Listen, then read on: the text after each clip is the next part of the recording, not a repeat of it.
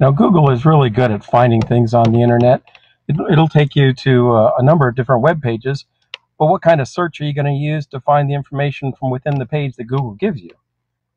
Well, we have an, uh, an extension in the, the App Store that is called Google Quick Scroll.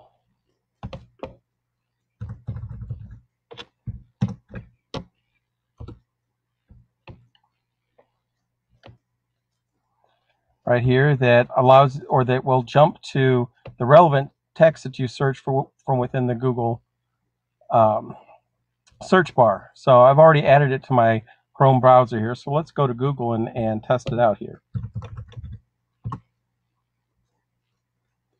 So if I type in butterfly flap weather to get some information about chaos theory here, and I pick the butterfly effect here, instead of having to read through the entire page, I get some uh, relevant text down here uh, that they found, and I can click on it and it will highlight the text, uh, and I can read the stuff that's around it. If that's not what I want, I can highlight the next bit of text.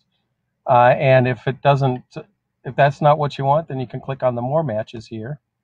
And I guess for this one, there's those are the only two matches in there, but um, it allows you to jump right to the text that you want instead of having to read through the entire thing. And this is something that I'm sure students will really like since it'll cut down the amount of reading that they'll have to do.